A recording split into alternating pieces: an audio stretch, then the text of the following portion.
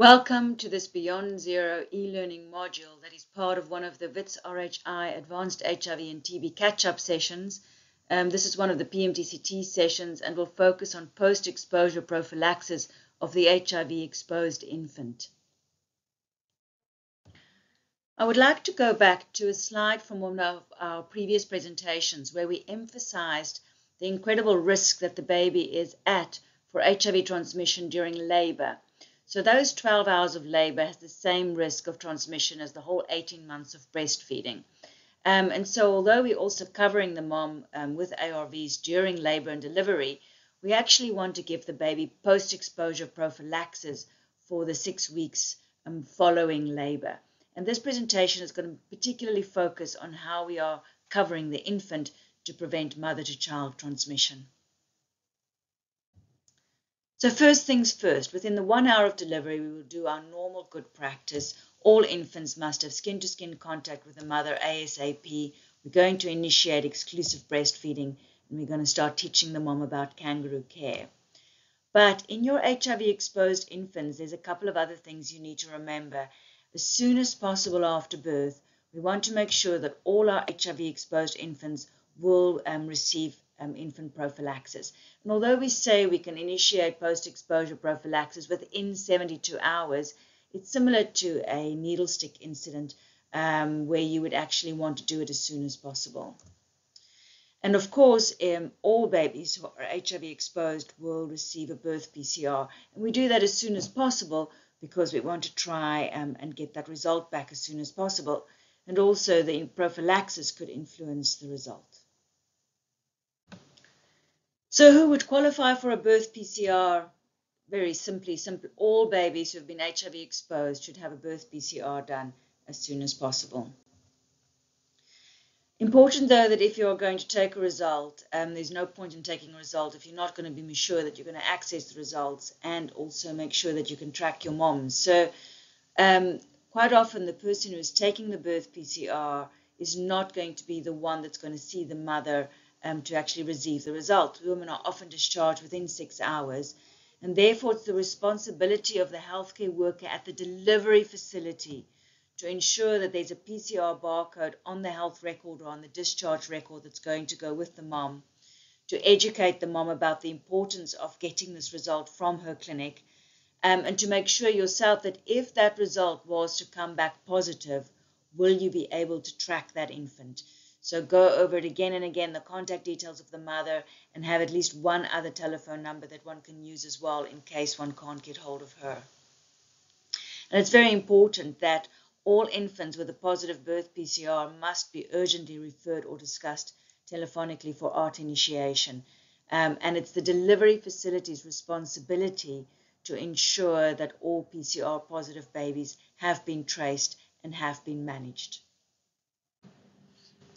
So let's talk about infant prophylaxis. And the choice of the infant prophylaxis regimen is going to depend completely on, on the mom, the risk profile of the mom. So I would like to emphasize again the importance of filling in the maternity record really well during antenatal, especially the start date of the ARVs, um, the mom's adherence profile, and what the last viral load was. Those information cannot easily be tracked in the middle of the night um, and has to be easily on hand. So we're going to look at four specific scenarios and we all have slightly different management. The first is our normal well-suppressed mom on ART. The second scenario is a mom who's only recently been started on ARVs prior to, to delivery or who was diagnosed during labor as being HIV positive. The third scenario, which is not strictly speaking post-exposure prophylaxis, but fits very well within these, these particular discussion, is the mom who's been diagnosed HIV positive whilst breastfeeding.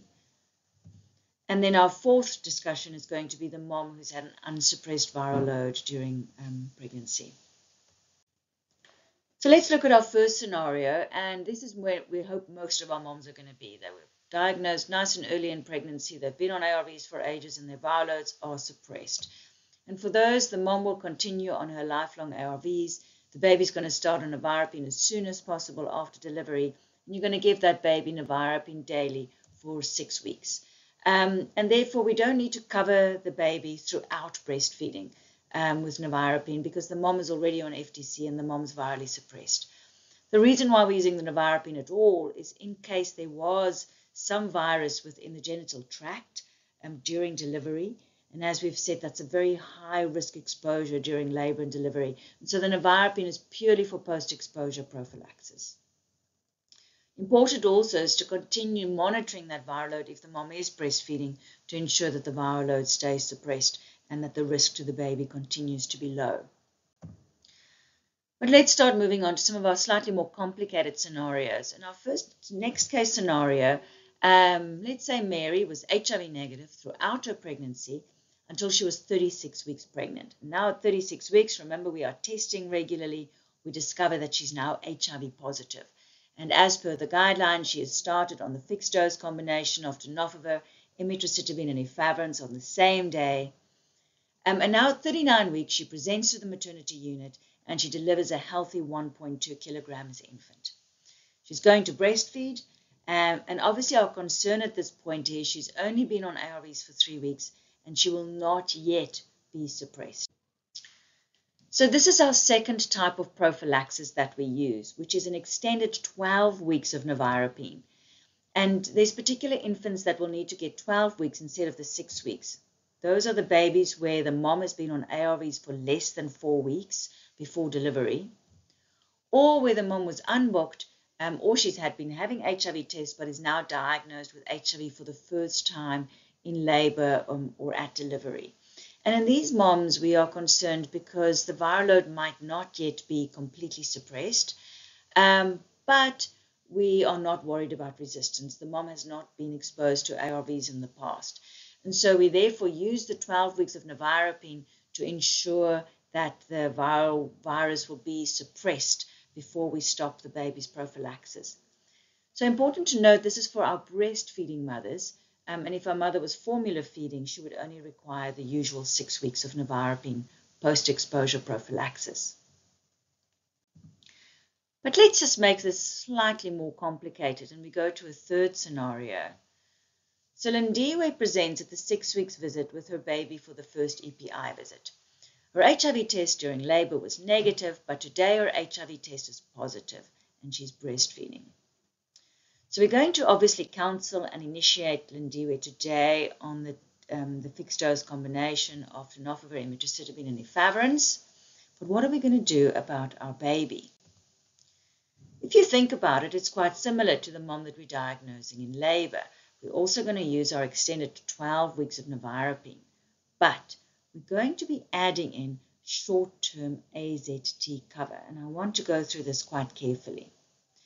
So we're obviously going to do our PCR on our baby, and we're going to put the baby on the 12 weeks of nevirapine.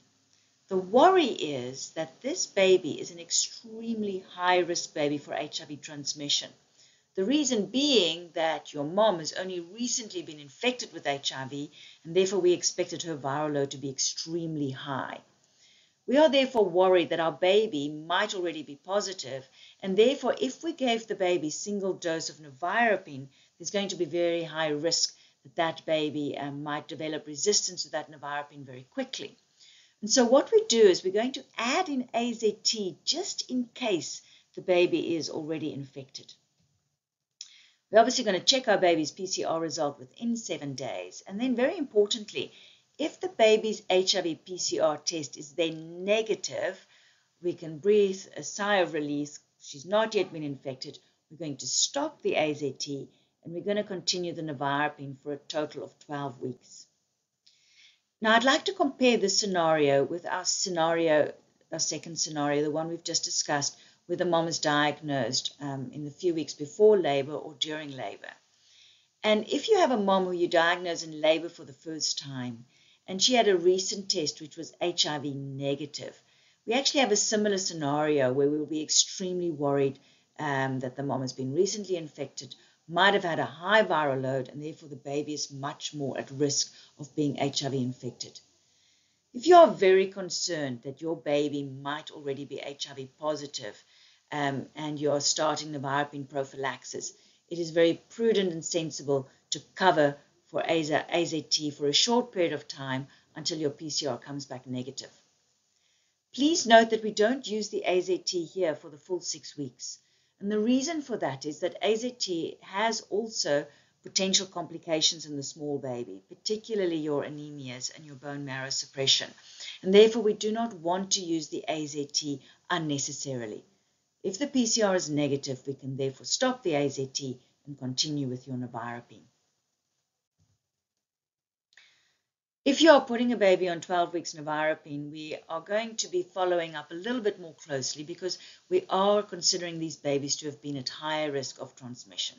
So remember, we're all going to do our birth PCR, but at any time, if you're concerned, you're going to do a PCR and if the baby develops symptoms. We'll do our normal PCR at 10 weeks, but very important, we'll do another PCR six weeks after the 12 weeks of nevirapine has stopped. So that means there's going to be an 18 weeks PCR that will be done.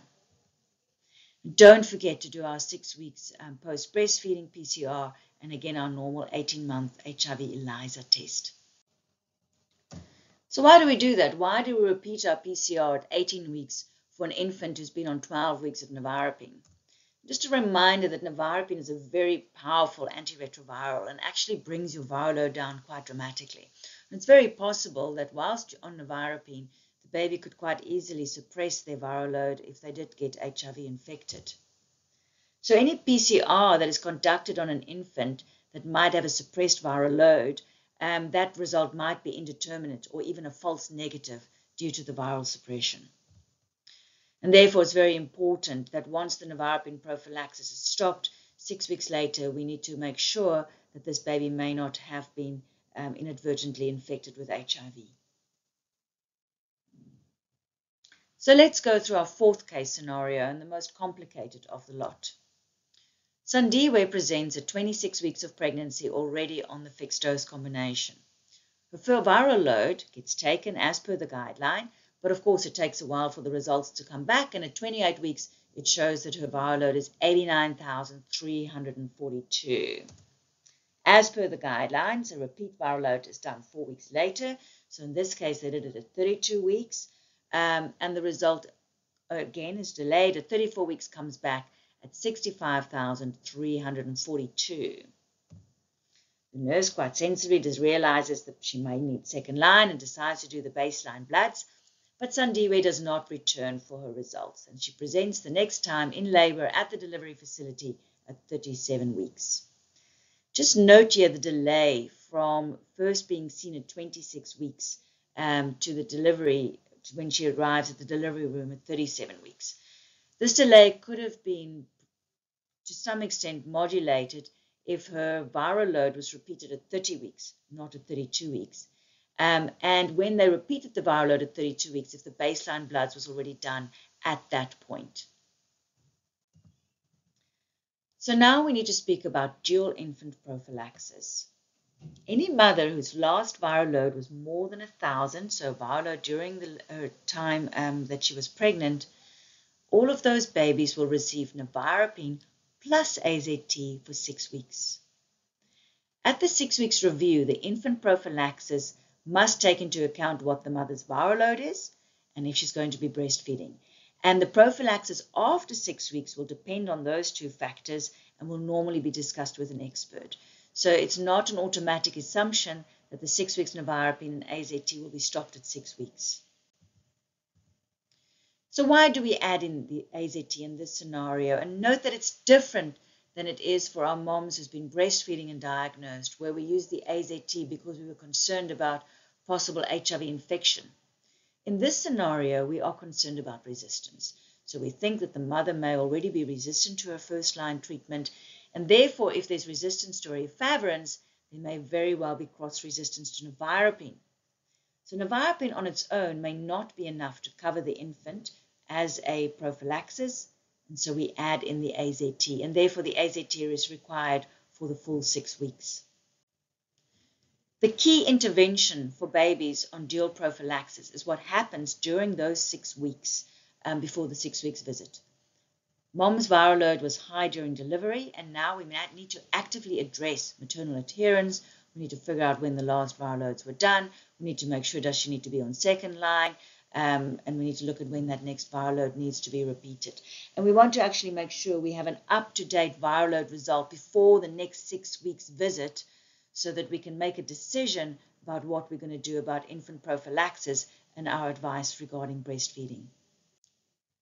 So let's summarize our different options at this point. We've got our straightforward babies who's going to get their six weeks of nevirapine post-exposure prophylaxis. Then we've got two other main scenarios.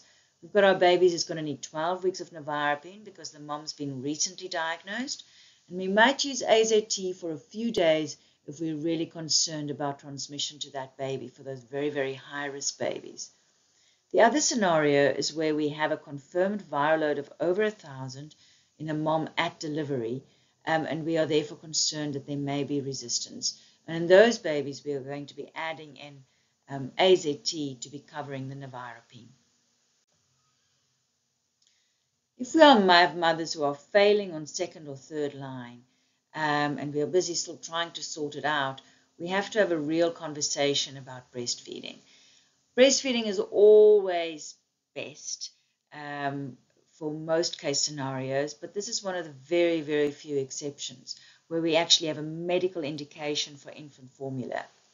If we are going to have a discussion about a mom not breastfeeding, that discussion needs to happen before she goes into delivery and preferably has to be planned for um, while she's still pregnant. Very important to ensure that you can sustainably give that mommy infant formula for six months. Do not start a mom on infant formula where it is not going to be able to be um, continued reliably. If formula is not available, then we're going to be carefully counseling our mom. We're going to focus on trying to get that viral load down, and then exclusive breastfeeding is still your best second option. All of those mom babies who have high viral loads on second and third line must be discussed to look at all the possible best options. So let's quickly run through one or two other scenarios. Let's look at the example of an orphaned or abandoned baby where we don't know the maternal status of the mother, and importantly, the baby is still less than 72 hours old. In that case, we can do an HIV rapid test on that infant to see whether there is HIV exposure, and we can give the baby post-exposure prophylaxis of nevirapine for six weeks the rapid test is negative, it means the mom was HIV negative and we don't need to give nevirapine. If it's a non-breastfeeding mom um, that is diagnosed HIV positive more than 72 hours after delivery, or an orphan or abandoned baby more than 72 hours after delivery, then we're not going to be giving any nevirapine, um, but we will be doing a PCR on that baby. And we are watching that PCR very closely over time to see whether the baby has been infected. A last note about linking to care. Before our mom goes home, we need to make sure she's got enough ARVs. We are hoping that she will be returning to the clinic at three days postpartum and again at six weeks, but to be safe, make sure she has enough treatment. Make sure the mom's been counseled about both her own ARVs, but exactly what is happening with infant prophylaxis, both dosage and adherence, the importance of exclusive breastfeeding for six weeks and very carefully exactly when and where she's going to follow up. Discuss contraception and really make sure that you're um, clearly put your plan in the, the road to health chart of the baby. If possible, book the first appointment for the mother and baby in to the clinic yourself um, so that the clinic can be expecting the mom and will notice if the mom does not show up. Our last slide will quickly run now through the uh, summary of all the infant testing that needs to be done for um, to ensure that we pick up babies who do get infected with HIV early. We're obviously doing birth PCRs on all our babies. We're no longer doing the six weeks PCR, but we will be doing a PCR at 10 weeks to ensure once they're off the nevirapine for four weeks that we pick up those babies that might have been um, infected. For babies who had 12 weeks of nevirapine, they need to get an 18 weeks PCR. It, there has to be a PCR six weeks after the complete cessation of breastfeeding if it's still under 18 months, and the rapid test if the baby is more than 18 months old. A normal HIV rapid test at 18 months. And remember, we do a PCR at any stage if the baby is symptomatic. This completes our presentation on infant prophylaxis. Please look at the other modules on PMTCT to complete this particular session. Thank you.